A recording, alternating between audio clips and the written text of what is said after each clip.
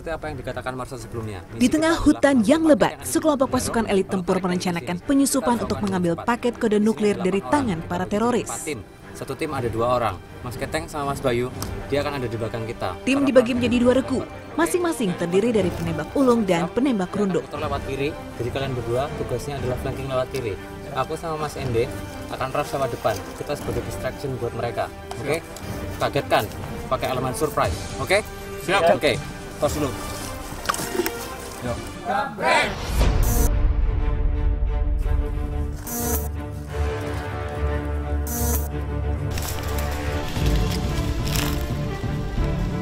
Sam.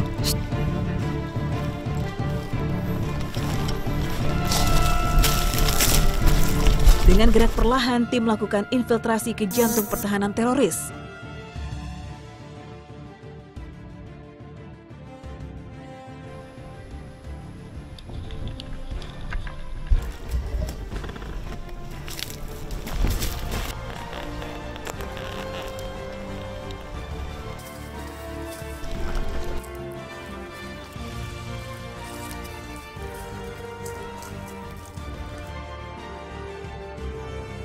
Persembunyian para teroris pun akhirnya terdeteksi.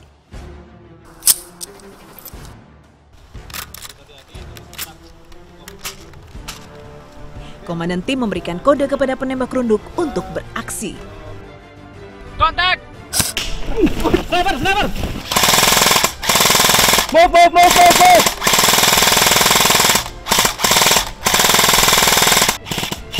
Kontak senjata akhirnya tak terelakkan.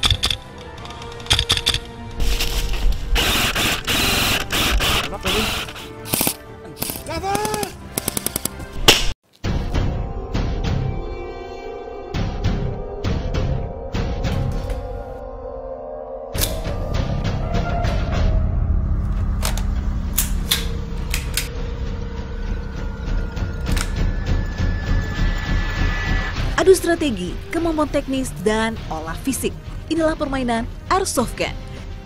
Airsoft merupakan olahraga permainan yang mensimulasikan kegiatan militer atau kepolisian dengan menggunakan replika senjata api yang disebut Airsoft Gun atau unit Airsoft. Permainan ini mulai diperkenalkan di Jepang pada tahun 1980-an hingga menyebar ke Eropa dan membuatnya semakin populer di berbagai belahan dunia. Airsoft Gun diciptakan untuk memenuhi hasrat pecinta senjata dan kemiliteran, untuk merasakan pengalaman perang dengan alat-alat replika dan tidak membahayakan saat dimainkan. Permainan airsoft adalah permainan dengan tujuan kesenangan dengan menggabungkan olah fisik dan stamina. Pemain pun harus sanggup mengontrol emosi dan tidak boleh menggunakan kekerasan dalam setiap permainannya. Peraturan dalam permainan airsoft gun diatur melalui regulasi yang memiliki naungan hukum agar tidak bisa digunakan di luar fungsi utamanya sebagai peralatan olahraga. Permainan ini mengatur batasan usia minimal 18 tahun. Dengan pertimbangan faktor kedewasaan serta bertanggung jawab untuk memahami peraturan dalam bermain airsoft gun. Senjata mainan dalam airsoft gun memiliki 100% kemiripan dengan bentuk senjata asli. Para pemain menyebutnya unit. Unit airsoft gun merupakan replika dari senjata sesungguhnya dengan skala 1 banding 1, namun sistem mekanisme airsoft gun tidak sama dengan senjata asli. Untuk membedakan dengan senjata sungguhan, unit airsoft diberi tanda orange tip atau cat oranye di ujung larasnya. Unit airsoft gun dapat diperoleh di pasaran dengan mudah. Namun peraturan yang mendasar adalah pembatasan usia serta tergabung di dalam organisasi resmi tim airsoft gun. Sangat dianjurkan sekali orang yang memiliki unit itu memiliki sebuah tim sehingga um, peredarannya itu bisa teridentifikasi. Kalau misalnya orang itu tidak punya tim, maka um, orang tersebut memiliki mainan tapi tidak terdaftar. Makanya bisa terjadi suatu terjadi sesuatu yang tidak diinginkan seperti penodongan dan segala macam. Tapi kalau misalnya orang tersebut tergabung dalam tim kita bisa pantau orang itu seperti apa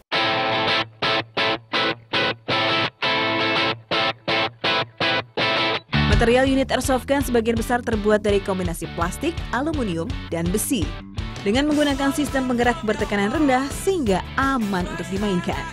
Dalam unit airsoft gun terdapat dua sistem penggerak yang sering digunakan. Pertama, sistem automatic electric gun. dengan sistem penggerak menggunakan tenaga baterai. Kemudian sistem gas gun dengan sistem penggerak menggunakan gas sebagai tenaga pendorong. Peluru dalam permainan airsoft gun disebut BB atau ball bearing. Ukuran pelurunya berdiameter 6 mm dengan berat antara 0,12 gram hingga 0,30 gram. Bibi dirancang tidak pecah saat ditembakkan sehingga tidak mencederai pemain. Karena permainan airsoft gun merupakan permainan yang melibatkan adu tembak antar pemain, maka kecepatan peluru dalam airsoft gun yang diperbolehkan adalah 380 hingga maksimal 450 kaki per detik agar tidak melukai pemainnya.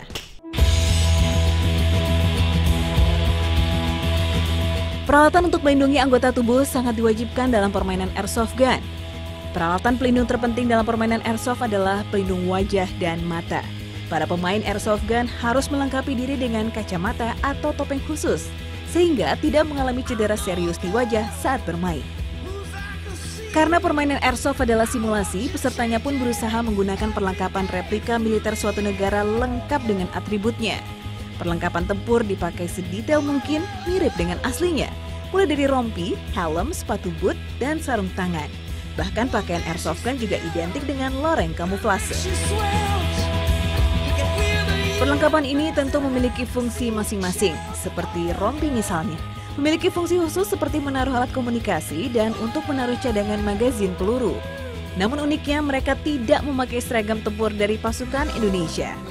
Kalau seragam itu memang wajib dari luar ya, karena uh, karena kalau di Indonesia sendiri kita punya peraturan bahwa kita tidak boleh menggunakan seragam TNI kayak gitu. Makanya uh, daripada kita terkena masalah menggunakan seragam TNI, lebih baik kita mengadaptasi seragam yang dari luar. Kalau di sini sendiri saya menggunakan um, seragam dari Amerika, yaitu uh, dengan corak multicam generasi kedua um, dari Combat Search. Jadi saya menggunakan ini karena cukup nyaman digunakan dan uh, cukup populer juga di kalangan airsoft. Penggunaan replika ini bukan saja untuk sekedar meniru mata, namun juga untuk kepentingan penyamaran agar tidak mudah terdeteksi lawan. Contohnya, seorang sniper atau penembak runduk. Dalam kamuflasenya, penembak runduk harus mampu beradaptasi dengan lingkungan sekitar sehingga mampu melumpuhkan lawan dengan sinyal. Pakaian yang digunakan sniper dinamakan gilisut Pakaian ini terbuat dari serat kain atau rajutan serat goni yang ditambahkan ranting serta dedaunan sehingga menyerupai vegetasi alam sekitar. Maka tidak heran dalam permainan airsoft seorang penembak runduk merupakan momok yang paling menakutkan.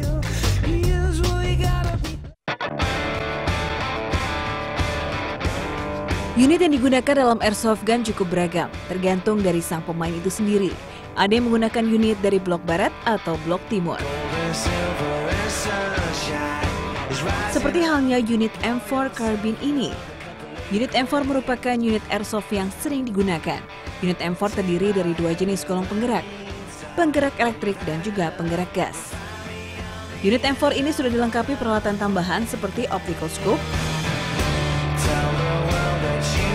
sound suppressor, rail interface system, dan bahkan telah dicat dengan kamuflase.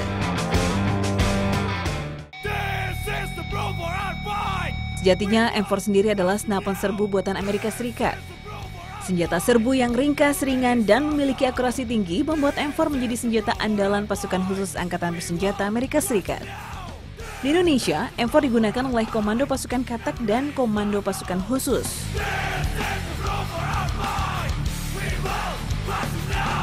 Ini adalah unit AK-47 yang sudah dimodifikasi dengan model taktikal, lengkap dengan rail system dan optical scope sehingga memudahkan pemain membidik lawan dengan akurat. AK-47 sendiri adalah senapan serbu legendaris asal Rusia yang diciptakan oleh Mikhail Kalashnikov tahun 1947. Senapan ini banyak digunakan oleh negara blok timur pada masa Perang Dingin. AK-47 sendiri telah banyak digunakan di berbagai medan pertempuran termasuk di Perang Vietnam. Yang ini adalah Dragunov untuk digunakan penembak runduk. Dragunov sekilas mirip dengan AK-47, namun senjata ini memiliki laras yang panjang, serta popor yang panjang untuk meredam hentakan peluru. Dragunov sendiri diciptakan tahun 1963 di Rusia oleh Fedorovich Dragunov. Digunakan untuk pertempuran jarak jauh dan sangat efektif untuk kondisi di hutan maupun di gurun. Kamuflase merupakan syarat penting bagi penembak runduk. Begitu juga dengan warna senjata di unit Dragunov ini. Dengan loreng hijau daun menjadi semakin lengkap perannya sebagai senjata runduk. Unit handgun Colt seri M1911 berfungsi untuk unit lapis kedua, digunakan untuk jarak dekat atau di saat unit utama kehabisan peluru.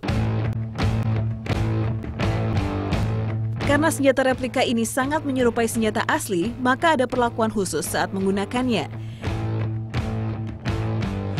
Salah satunya adalah tata cara memegang mainan dengan tidak memasukkan jari pada trigger unit. Posisi jari harus selalu di luar untuk menjaga keamanan dan menghindari peluru tertembak dengan tidak sengaja. Kemudian tidak diperbolehkan mengacungkan senjata ke arah badan atau wajah orang lain. Dan yang lebih terpenting lagi, posisikan pengaman senjata pada posisi terkunci.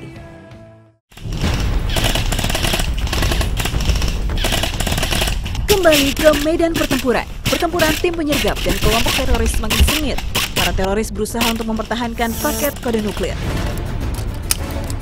Tim sergap tempur berhasil mengunci pergerakan kelompok teroris hingga para teroris terpojok. Namun kelompok teroris ini melakukan perlawanan sengit.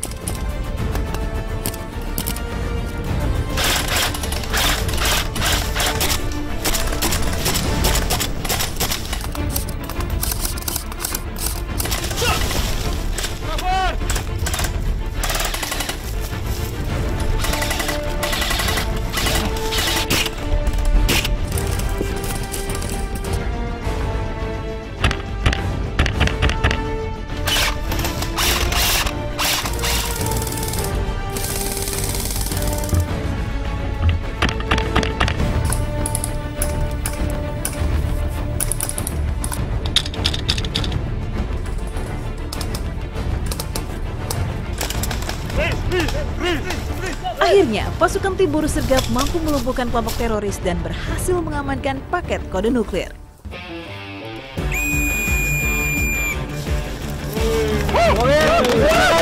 Silakan kembali ke safety zone. Inilah serunya bermain airsoft gun. Adrenalin terpacu di setiap permainannya dan tentunya benar-benar menguras fisik serta konsentrasi dengan tujuan memenangkan permainan secara sportif.